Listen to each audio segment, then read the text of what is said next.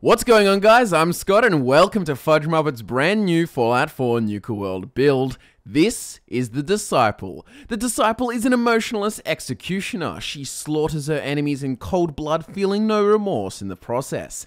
The Disciple's obsession with revenge drives her to commit reprehensible sins, but unlike most psychopaths, her face gives nothing away.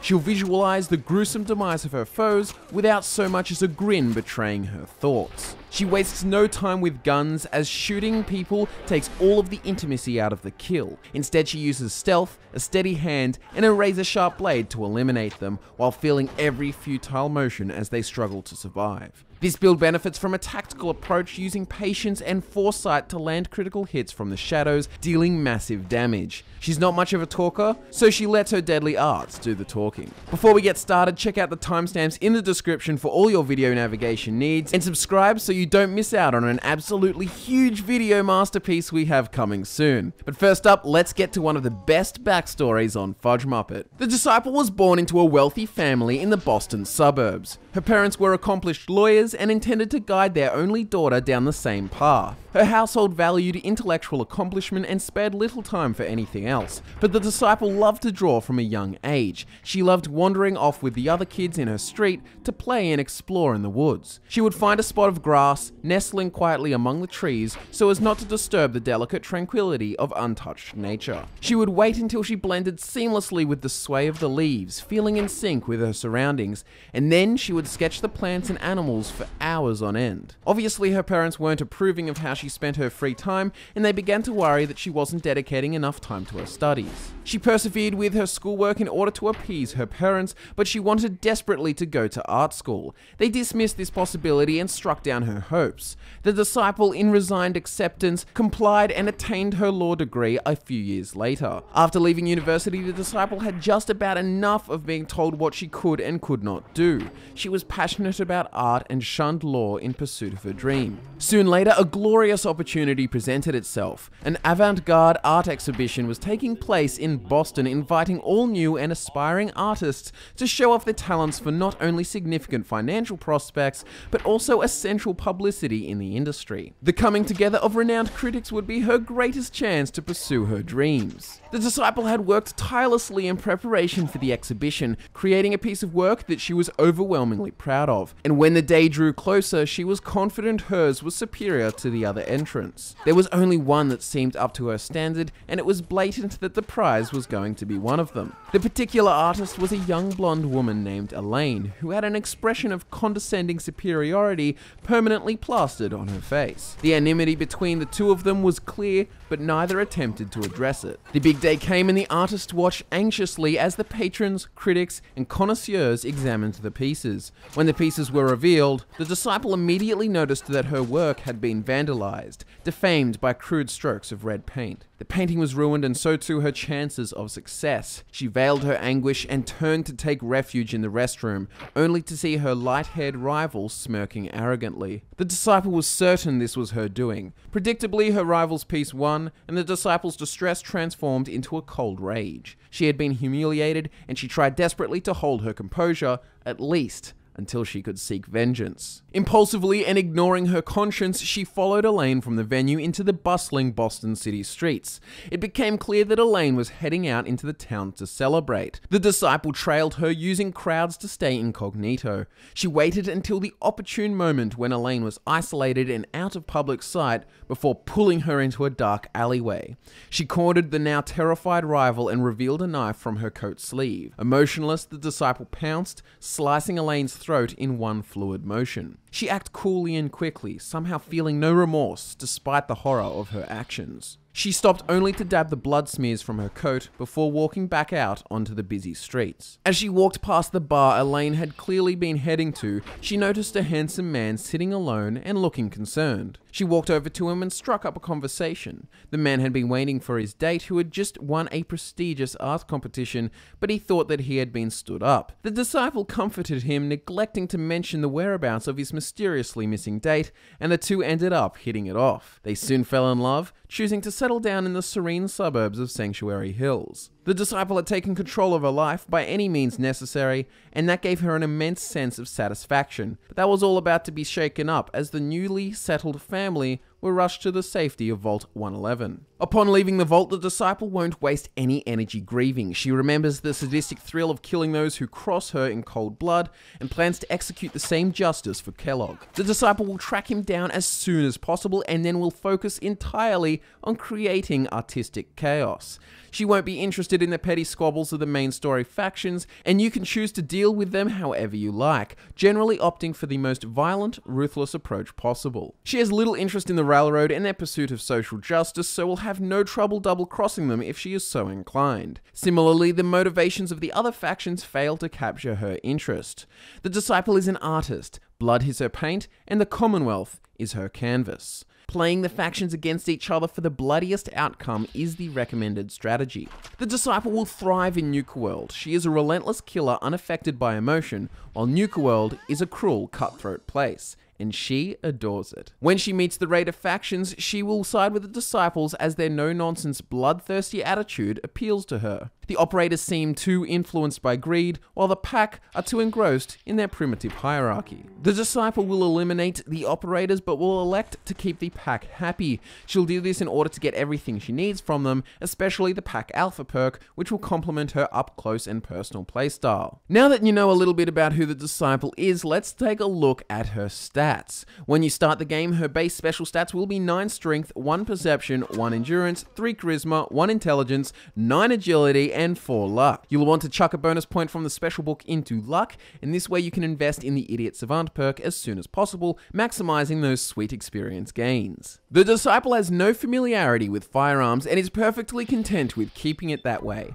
Guns take the savor from killing, and ever since she snapped, she prefers to get her hands dirty. Her ability to land a killing blow with a knife and her lack of trepidation in the heat of the moment make her far stronger than she appears. With 9 points of strength, the Disciple will always strike hard and true. Her next major asset is her agility. She's incredibly elegant and light on her feet, which may seem harmless to many, but this allows her to be clinical in her endeavor. As an artist, a deft touch is essential, and the disciple is precise whether she's striking a canvas or a victim. In order to find the best locations to sketch as a child, she would count on her nimble movements to get close to animals without startling them. For this reason, she'll have an impressive 9 points of agility. Next comes 4 points of luck. This stat will also be bolstered by 4 perk points and the special book bringing it to a base of 9 before the bobblehead. The Disciple isn't the type to take continuous pot shots at her enemies. She favors careful preparation, biding her time until the most auspicious moment presents itself, and when it does, she utilizes the element of surprise. She relies on one hit to do the job, and as a result, that strike ought to be as critically deadly as possible. With 9 points of luck, the Disciple is rewarded for her composure and patience in the form of devastating critical hits. So we have an understanding of the stats the Disciple excels in, but how will she put them to use when they're needed? Let's get into that now and have a look at her essential perks. First up from the strength stat line, we have Big Leagues. We know the Disciple is proficient with a blade, but with all 5 ranks of this perk, she'll deal double damage with melee weapons. On top of this, it gives her the chance to cripple opponents or even to showboat by decapitating them with a Grand Slam. In tandem with this, we have the Rooted perk. Taking two levels will ensure the Disciple's close proximity doesn't lead to her downfall. When standing still, you'll gain plus 50 damage resistance and all melee or unarmed attacks will deal 50% more damage. This way, the Disciple will stand her ground against all odds, turning her enemies into glorified pincushions when she pulls her blade on them. Lastly, from the strength stat line is Blacksmith. The Disciple seldom feels threatened by anything life throws at her, and she faces the wasteland with an unerving air of nonchalance. For this reason, she adapts well to her harsh surroundings and doesn't take long learning how to prosper. She quickly discovers how to get the best out of her blades, and with all ranks of blacksmith, she'll have access to all melee weapon modifications necessary. Charisma is hardly the disciple's forte, she's more inclined to get straight to the point, and that point is the tip of her cutlass. But nevertheless, we suggest investing in the Lone Wanderer perk. As a stealthy operative, the disciple would prefer not to have that jeopardized by clumsy companions. Taking all four ranks will offer an extra 100 pounds of carry weight, you take 30% less damage, and your damage output will be boosted by 25%. And thanks to the Far Harbor DLC, the 4th rank will provide an additional 25 action points. Next up is Agility. From this stat line, you'll want to build the Disciple's stealth. As a melee-centric character, she would rather not be spotted from a distance. Firstly, taking all ranks of the Sneak perk will make her 50% harder to detect while sneaking, and on top of this, she won't trigger floor-based mines and traps, running won't adversely affect stealth, and engaging in stealth will cause distant enemies to lose her. To supplement this, you'll want to take all ranks of the Ninja perk. This will multiply your melee sneak attack damage by 10, making stealth a must for optimal results in combat. Also from agility, we have Action Girl. With this perk maxed, action points will regenerate 75% faster, vastly improving VATS efficiency. This means VATS will be a practical option on the battlefield, allowing the Disciple to be even more calculated in her strikes. To further add to the Disciple's VATS viability, we recommend dropping 2 points into the Blitz perk. This will significantly extend VATS melee distance, and the farther you lunge, the more catastrophic the outcome will be for the recipient. Last but certainly not least is luck. The stat line is all about pumping out crits left, right, and center, and also enhancing experience intake. As mentioned before, the Disciple's base luck will only be 5 with the special book, but putting 4 perk points into luck will bring it up to 9. With that in mind, you'll want to devote some points to Bloody Mess. This perk is enough of a treat simply for its aesthetics. As the Disciple dices up foes, she can bask in all the gory glory. But to sweeten the deal at max rank, all combat damage will be increased by 15%, and with a bit of fortune, enemies clustered together may explode one by one like distended dominoes when she lands the killing blows. Also from the luck stat line is Idiot Savant. This perk is best acquired early to maximize leveling. Once all three ranks are taken, you have a chance of randomly receiving 5 times XP from any action, and there's a chance that this bonus will trigger a times 3 XP multiplier for all kills for a short time. In other words, when the Disciple gets on a hot streak, you know it's time to slaughter every living thing in the vicinity. Keep in mind that this perk benefits from having low intelligence, so if you find yourself at the Boston Public Library, don't go borrowing any books. As for those delightful crits, you'll want to take the Better Criticals perk. At max rank, critical hits will dish out 2.5 times as much extra damage damage. Pretty straightforward, but extremely handy for your VATS playstyle. Following this up, you'll have the Critical Banker perk, so you'll never waste a critical hit again. At rank 4, you'll have the ability to save up 4 critical hits to be used in VATS when the time is right. And finally, from the luck stat line comes 4 Leaf Clover. Once maxed out, you'll have a 14% chance of refilling your critical meter with each hit in VATS. Not including gear, but including bobbleheads, the Disciple special stats will be 10 Strength, 2 Perception, 2 Endurance, 4 Charisma, 1 Intelligence, 10 Agility, and 10 luck.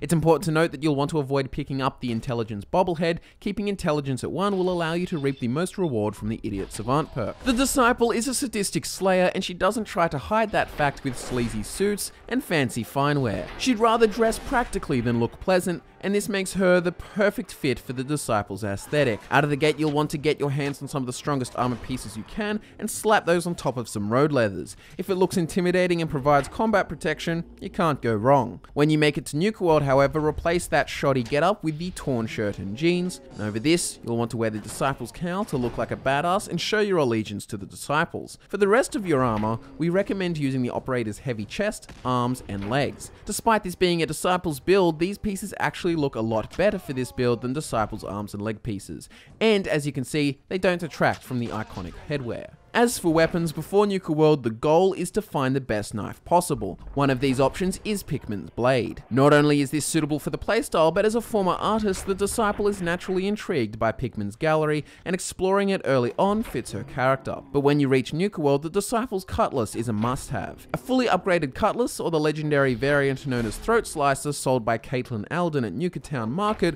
will be a huge step up. For more information on just how powerful the Throatslicer is, check out the short video we made on it. Link is in the description. In terms of additional equipment, there are a few beneficial items you can find in Nuka World that add some serious bang to this build. I know I said the Disciple steers clear of books at all times, but there are two new magazines you'll want to pick up. There are issues 2 and 5 of the Scav magazine. Issue 2 gives plus 25% damage to combat knives and switchblades, and yes, that does include the Disciple's Cutlass. This can be located in the hangar in the Nuka World junkyard. Issue 5, found near the theatre at Dry Rock Gulch, will grant plus 3 strength strength and endurance when you have less than 100 caps in your inventory. It goes without saying that you should aim to carry less than 100 caps when possible. Chems aren't essential for this build as you'll be dealing insane damage regardless, but the choice is yours there. After all, she was an artist, so she may be inclined to experiment. As we touched on before, the Disciple's sly combat approach benefits more from traveling alone, and with the Lone Wanderer perk, it's best to avoid adventuring with companions. As for settlements, similar to our other Nuka World Raider builds, the emphasis is on taking over settlements for the Disciples, and she doesn't care about building and sustaining colonies, she's only out to wreak havoc and quench her thirst for blood. Well there you have it guys, thanks for tuning in to another Fudge Muppet Fallout 4 Nuka World build. If you liked the Disciple, show us some love by giving the video a like and sharing it with your friends.